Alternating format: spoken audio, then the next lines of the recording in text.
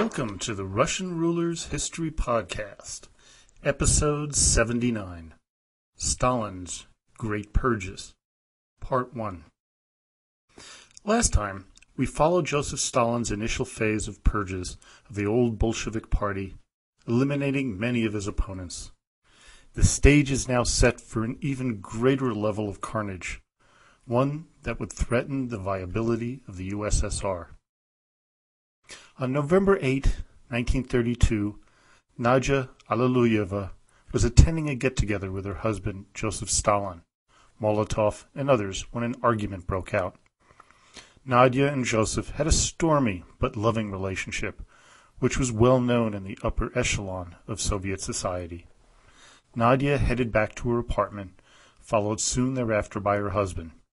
He fell asleep as usual in his room, his room, passed out after a hard night of drinking. The cause of her death was a gunshot wound to the chest. Stalin claims not to have heard the shot, which can be understood due to his heavy drinking. Some have int- intimated that Stalin shot her himself, but from everything I've read, that's highly unlikely. Also, he took her suicide very hard. He knew her since she was a preteen falling deeply in love with her before the revolution. Her death caused another departure from caring about human suffering, which was to cause undue pain for tens of millions of people. Molotov said about the death, quote, The cause of Alliluyeva's death was, of course, jealousy. There was a large gathering in Voroshilov's apartment. Stalin rolled some bread into a ball and threw, threw it at Yegorov's wife, with everyone watching. I saw it, and this seems to have had something to do with what happened. Kiria Alliluyeva Polokoskovaya wrote, Mama told me later that when Nadia got home, she must have thought it all out in advance because she bolted her door. And nobody heard the shot. It was a little revolver, a lady's. They say she left a letter, but nobody read it. The letter was for him, Stalin. No doubt he poured her heart out in it. We have a first-hand account from Svetlana, Stalin and Nadia's daughter, who defected to the United States in 1967 and wrote a tell-all book on her notorious father. In the book, she recounts a story told her by her nanny about the day her mother died. Quote, My father usually slept in his study or in a little room with a telephone next to the dining room. He slept there that night arriving home late from the anniversary banquet, which Mamma had left earlier. These rooms were a long way from the servants' quarters.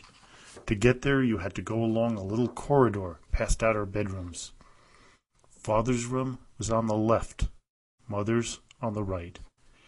She was found dead in the morning by the housekeeper, Carolina Till, who had bought her breakfast.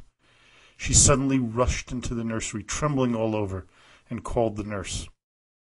Mother was lying by the bed, covered with blood, with a little Walther pistol given to her by Pavlusha in her hand. They rushed to the telephone and called Avel Yenukidze, the chief bodyguard, and Molotov's wife Polina, who was Mamma's close friend. Molotov and Voroshilov arrived.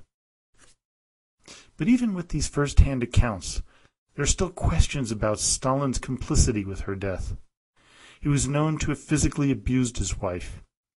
There's an account from the future premier and podcast topic, Nikita Khrushchev, of a time when Stalin dragged his wife Nadia by the hair onto a dance floor, kicking and screaming.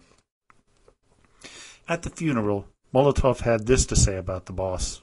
Quote, I had never seen Stalin weeping before, but as he stood there, by the coffin. Tears ran down his cheeks. She loved Stalin very much. That is a fact. He did not push the coffin. He went up to it and said, I didn't take care take enough care of you. What is curious is the way Stalin handled himself at the funeral procession.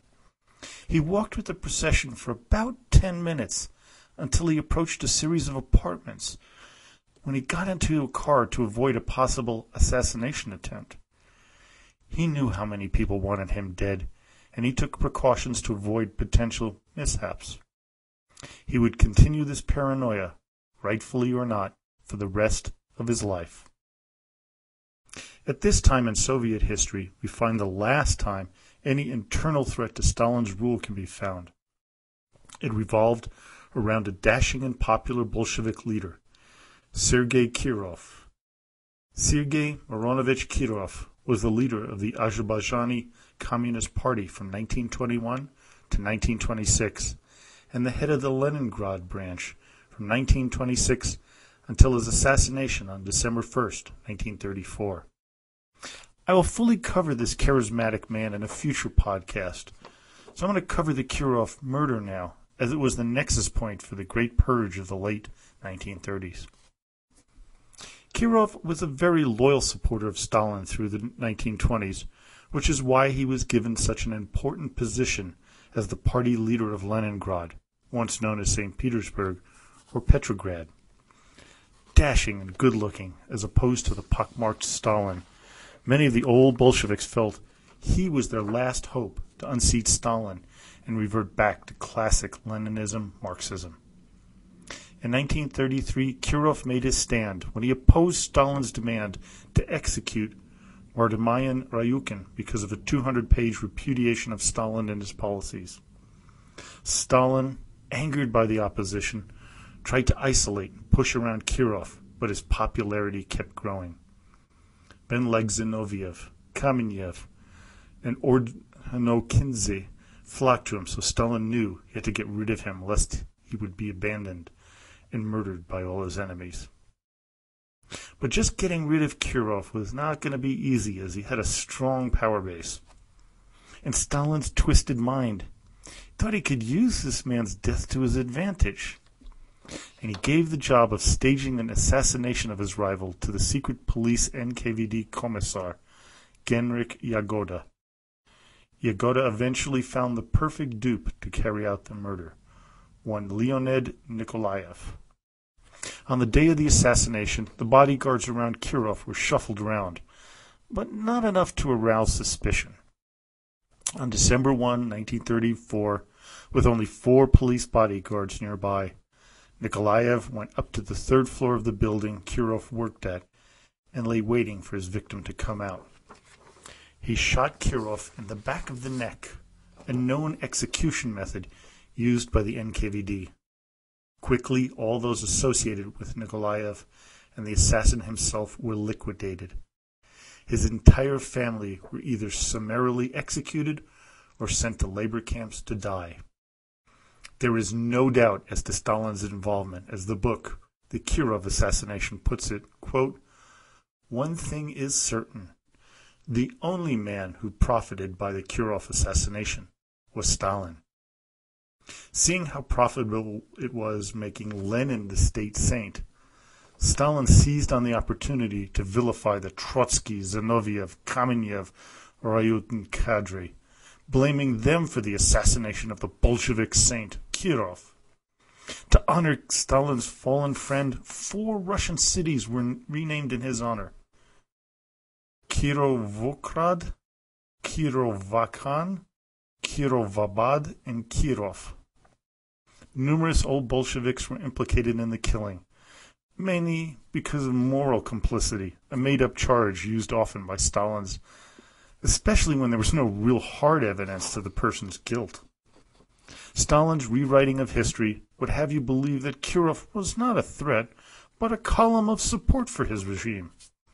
But in the 1930, but in 1934, at the annual Soviet Congress, Kirov received only three negative votes, while Stalin got 292. 292 fatal choices. Kirov obviously had to go, but his usefulness would far outlast his 48 years of life. Someone had to create this fictional land where the rightists, led by the treacherous Trotsky, sought to undermine the socialist Eden Comrade Stalin was so eager to create. Except there was no equal socialist state. The communist leaders led extravagant li- lifestyles, living in dachas once occupied by the Romanovs and their supporters. But now the state, ruled by Stalin, controlled everything, and if you displeased the boss, nothing you had was really yours, including your life. Now, this is a very important concept to understand, as it was the basis of Soviet life until its fall in 1991. I'm going to repeat that. Nothing you had was really yours. It was all the states. And that included your life. Even though Stalin now had a reason to destroy the entire old Bolshevik network, the question you have to ask is why? Well, you need go no further than Lenin's writings to find out why. He once was quoted as saying, according to Trotsky, quote, Lenin often ridiculed so-called old Bolsheviks and said that at 50, revolutionaries should be sent to join their forefathers. This grim makes a serious point. At some critical stage, every generation of revolutionaries becomes a hindrance to the further development of the idea which they have carried forward. And, as Lenin was also quoted as saying, quote, you can't make a revolution in white gloves. Yagoda was now ordered to focus on the Trotsky Zinovievites as the enemies of the state. But Stalin noticed a little weakness in him, a hesitance. He turned secretly to Nikolai Yezhov to look over Yagoda's shoulder, so to say. Yagoda was a servant of the party run by Stalin. Yezhov was a servant of Stalin alone. Molotov saw what was going on and wrote in his autobiography many years later. Until 1937, we lived the whole time with opposition. After that, there were no more opposition groups. Stalin took the whole difficult business upon himself, but we helped. Stalin wanted 1937 to be a continuation of the revolution in a complicated international situation. It was a time where international events were becoming clear to Stalin, especially the growing threat of the Nazi Party and their charismatic leader, Adolf Hitler. Stalin could ill afford to have opposition in his country. He needed complete control to battle what he saw as the coming war with Germany. So in the newspapers after Kirov's murder, the masses were whipped into a frenzy blaming the, blaming the Zinovievites as the killers of the communist Saint Kirov. Seven days after the assassination, supporters of Zinoviev and Kamenev were arrested. Fifteen days later, the two supposed conspiratorial leaders were arrested as well. Yagoda was uh, unable to convince the men to confess to their crimes, but Stalin was. In January 1935, both had confessed to complicity to a greater scheme to undermine the grand communist plan for the people, for personal gain. Many were now sentenced to prison, but that was not all that was asked of them. Yezhov was building up secret files of alleged conspiracies, while Yagoda was clumsily fabricating evidence against hundreds of old Bolsheviks. Then an ominous law was passed in April of 1935. In it, it stated children 12 and older were to pay the same penalties as their parents, including death. Hundreds of thousands of innocent children would perish because of crimes supposedly committed by their parents. Tens of thousands of old Bolsheviks were now imprisoned by 1936. But that was not enough for Stalin. Now he wanted to prove to the rest of the world that traitors existed throughout the USSR, whose intent was to wreck the socialist Leninist Kirovian dream. A secret conference was held to inform the NKVD members of a conspiracy to overthrow the USSR, led by Trotsky, Kamenev, and Zinoviev, funded and supported by the West, especially Hitler, Great Britain, and the United States of America.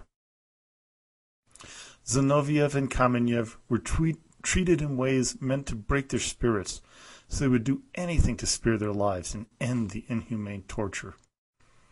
The beloved writer Maxim Gorky was loud in his support of Kamenev, so much so that he quickly died of um, natural causes. On August 19, 1936, the trial of the assassins of Sergei Kirov began. The Trotskyist leftists were summarily found guilty, but not before they implicated the Bukharin-led rightists.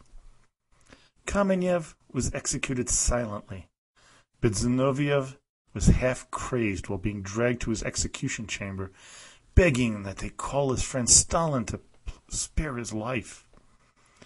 When Stalin heard of the pleas of his old friend, it is said that he laughed.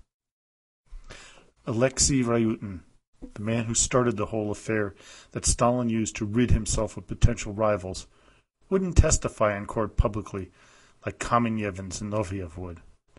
His old buddies would plead guilty to a fault, begging forgiveness for daring to doubt the boss's undeniable quest for socialist utopia. Ryutin alone was a man of conviction. Nonetheless, he too was shot.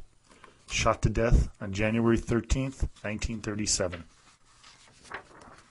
Yagoda confidently was the builder of evidence of the leftist conspiracy when he was given the job of building two canals, and one was the Moscow-Volga Canal.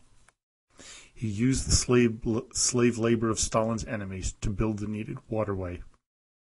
Except that this promotion was a common ploy of Stalin right before his plan to liquidate you. Yezhov was promoted, also promoted to run the secret police within the NKVD, eliminating the GPU. Yezhov increased the salaries of all his new underlings and made them more powerful. Everyone was now targets of NKVD scrutiny, even the boss, Comrade Stalin. Now conspirators were being arrested every day. Pyatakov and Radek were trapped in prison and made to see their conspiratorial ways. Soon more old Leninists were ensnared and made to confess that the exiled Trotsky was still trying to take down Stalin and prevent the Eden of socialism from taking place. Stalin was the producer of a play of conspiracy that was to enthrall the Russian people, yet stupefy the rest of the world. The brilliance of what Stalin had done was to find fault of others for the suffering of the people. So when he, the boss, the little father, the batushka, gave them bread, meat, milk, they loved, worshipped, idolized, and fought for him. The Tsar, the Romanovs, and the Rurik line before them had nurtured the figure of the little father who loved his people and would do so much more if his evil ministers would just be removed so the path to the all-loving ruler could be clearer. Oh, how the people were deceived! It was not an easy deception, but one that was carried out with brilliance by Stalin. Let me tell a little personal story here. When I was a young boy in 1970, I went to East Berlin with my father to visit some cousins. When we got there, we were obviously being followed by two secret police officers, as one of my cousins was a nuclear physicist, who strangely enough just couldn't make it to dinner that night. While we whittled away some time until we could meet his wife and daughter for dinner at a swank, well, if you could call it that, East German restaurant, my father and I walked the streets, noting the still very apparent bullet holes in the walls of most buildings, remnants of the Russian invasion of Berlin in 1945, when we came upon a line of people that was wrapped around a corner. When my father asked them what they were in line for, a woman said, well, she didn't really know what it was they were you know, about to buy, but she was sure that her family needed it, and she was happy that she was going to get it, whatever it was, thanks to the government. When we got to the front of the line to see what they were so happy to buy, we saw that it was toilet paper. Another thing I vividly remember was looking into the windows of a number of stores, and whatever was there on the display had a small little sign underneath that said Verkauft. My dad explained to me that the word Verkauft meant sold. Basically, he told me it was all a scam. The people had nothing but a dream of their benevolent government providing for them. Except that their government kept blaming us Americans as capitalists for denying them the ability to buy these goods. As a young boy of twelve, I understood that the East German government was lying to their people.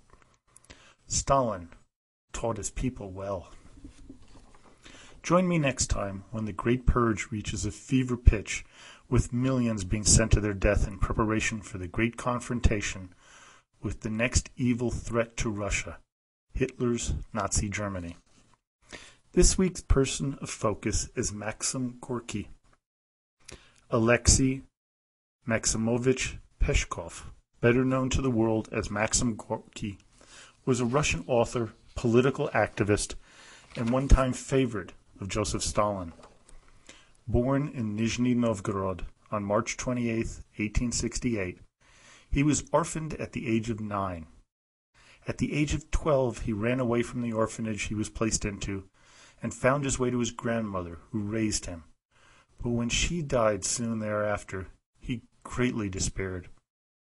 He began to travel across Russia for the next five years, taking notes and getting the feel for his country. He worked as a journalist for a number of newspapers. His writing began to reflect the lives of the Russian people, especially the lower class of people, the peasants.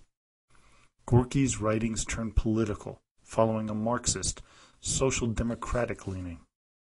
He spoke out fervently against the Tsarist regime, causing him to be arrested a number of times. Gorky was elected to be named as an honorary academician of literature, but Nicholas II ordered the award annulled. Because of this, both Anton Chekhov and Vladimir Korolenko left the academy. Over the years, he became friends with a diverse group of people like Chekhov, Leo Tolstoy, and in 1902, Vladimir Lenin. He became a friend of the Bolsheviks, going so far as to head to the United States to raise funds for the party, which he never became a member of.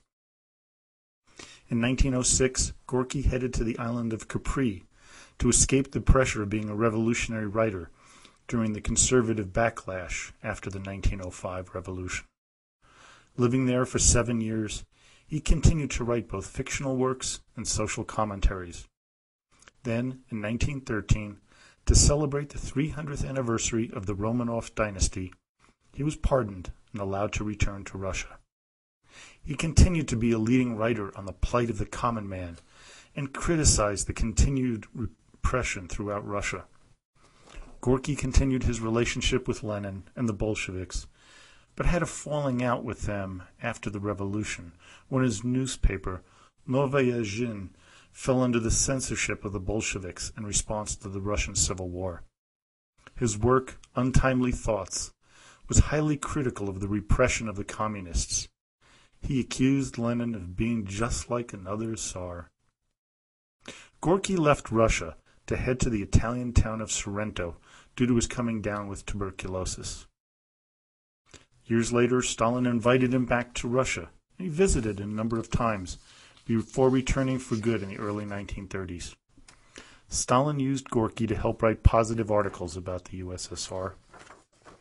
But by 1934, he began to become disillusioned with the government, especially in response to the growing repression imposed by Stalin after Kirov, the Kirov assassination.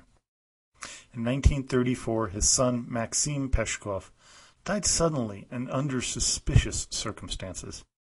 This embittered Gorky, and when Lev Kamenev was arrested, he personally and publicly called for his release. This angered Stalin, and there was circumstantial evidence that the boss ordered his murder, which was carried out by agents of the NKVD under Genrikh Yagoda but according to the government report of the time, Maxim Gorky died of natural causes on June 18, 1936, at the age of 68. Two of his pallbearers at his funeral were Stalin and Molotov. Well, I hope you liked today's podcast. Fortunately, I'm going to have to take a two week break. Uh, I'm going to miss one you know, next weekend because I'm putting on a uh, health conference in Bellevue, Washington for the weekend and just am going to be a little too busy to get things uh, finished up in time. I am working on the second part of the Great Purges, and I tell you, it is a very difficult one to uh, go through because the suffering of the people in Russia during this time was immense. and uh, does take a little bit of doing to get through it. I hope you enjoyed it. Uh, please visit the website at russianrulers.podhoster.com or our Facebook fan page, which is growing every week at Russian Rulers History Podcast. You just asked to join. And there you can ask a question, make a suggestion, or leave a comment. Now, as always, до свидания и спасибо большое.